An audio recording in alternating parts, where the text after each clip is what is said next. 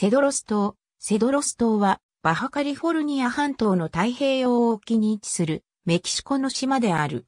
行政上は、バハカリフォルニア州エンセナーダ自治体に属している。人口1339人。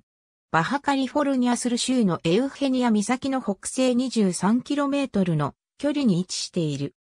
島は南北が 38.9km、東西が 19.8km、面積は348京平方メートルで、ティブロン島、アンヘルデラグアルダ島、コスメル島に次いで、メキシコで4番目に大きい島である。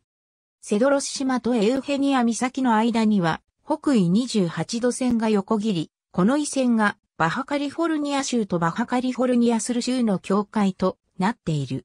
島の最高地点はセドロス山である。島の低地は乾燥しており植生はわずかだが、島を通過する寒流の影響で、主に北部と西部で霧と雲が発生するため、標高の高い場所では、オークや松等の植生が見られる。また、島の西部には大きなアシカのコロニーが存在する。最も大きな町は、島の南東に位置するプエルトセドロスで、漁業が盛んである。島の南端に位置するプエルトモロレドンドでは、対岸のゲレーロネグロの塩田からの塩の積み替え、輸出が主な産業となっている。さらにいくつかの小さな集落が島内に点在する。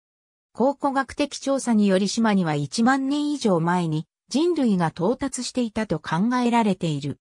1539年にスペインの探検家フランシスコ・でウルアがカリフォルニア湾の最洋のコロラド川川口に到達した後、バハカリフォルニア半島の南端を回り、再度北上して、西洋人として初めて島に到達した。この時に100人程度の規模を持ついくつかの先住民の集落を発見している。先住民はスペイン人に激しく抵抗したものの、西洋人が持ち込んだ疫病により人口は激減した。17世紀末から18世紀初頭にかけて、島を拠点にした海賊がフィリピンからヌエバ・エスパーニャへ向かう財貨を積んだスペインのガレオン船を攻撃していた。イエズス海の宣教師たちは島の先住民への布教が難しいと考え、1732年に先住民をバハカリフォルニア本土のサンイグナシオへ移住させた。その後、1790年から1850年の間にアザラシとラッコの毛皮を求めて漁師が島へ移住してきた。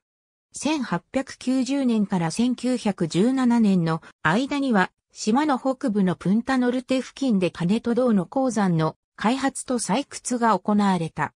1920年には、プエルトセドロスに漁村と缶詰工場が建設され、1966年には、塩の船積みのための港がプエルトモロレドンドに建設された。1970年代にメキシコとアメリカの地質学者によって島の詳細な地図が作成された。プエルトモロレドンドにセドロス島空港があり、バハカリフォルニア半島内やメキシコ本土間に定期便が就航している。ありがとうございます。